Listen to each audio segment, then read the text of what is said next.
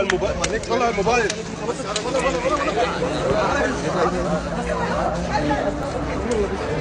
ضربه بالقلم والمعجب ردهوله حاول يصوره بطريقة مش عاجباه طلب منه الموبايل والولد رفض. تفاصيل خناقة محمد رمضان مع شاب معجب في الساحل الشمالي. هجوم كبير على النجم محمد رمضان خلال الساعات اللي فاتت بسبب الفيديو المنتشر من الساحل. وهو بيتبادل الضرب مع معجب ليه حاول يتصور معاه. وبحسب الفيديو المنشور محمد رمضان كان موجود في أحد الأماكن بالساحل الشمالي. وظهر وهو بيتشاجر مع شاب. واضح من المشهد إنه كان بيصور فيديو غير لائق لمحمد رمضان. فتعصب محمد رمضان واندفع ناحية الشاب وفضل يصرخ فيه ويقول له طلع الموبايل والولد قال له اهدى هديك الموبايل. بس محمد رمضان فقد أعصابه وقام لاطش الولد بالقلم على وشه. الولد ما وقفش يتفرج وحاول يشتبك مع محمد رمضان وقام رادد له القلم قدام الجمهور. واشتعلت الأزمة قبل ما يحاول المتواجدين إنهم يهدوا الأمور ما بينهم. وفي أول تصرف من محمد رمضان بعد الواقعة دي شارك مع متابعينه فيديو ليه بنفس المكان اللي حصلت فيه المشاجرة تقريبا بس وهو مع جمهور اللي بيحتفي بيه وبيحاول يتصور معاه للذكرى. وكأن محمد رمضان بيرد على كل اللي بيهاجموه بتجاهل الموضوع. وكان محمد رمضان احتفل خلال الأيام اللي فاتت بطرح أغنيته الجديدة بمزاجي على كل المنصات الموسيقية وموقع يوتيوب. واعتمد رمضان في الأغنية على الرسوم المتحركة. ما ظهرش بوشه في الكليب واكتفى بأنه يظهر برسوم سكتشات ليه وهو لابس ألوان صيفية بتتناسب مع الجو المبهج للكليب استعان رمضان في الأغنية بشخصيات من مسلسلاته فمثلا ظهر في مسلسل ابن حلال اللي قدمه في 2014 كمان شخصية دلال فتح الله اللي قدمتها إيمان العاصي في مسلسل جعفر العمدة اللي اتعرض في رمضان 2023 ضمن كلمات الأغنية.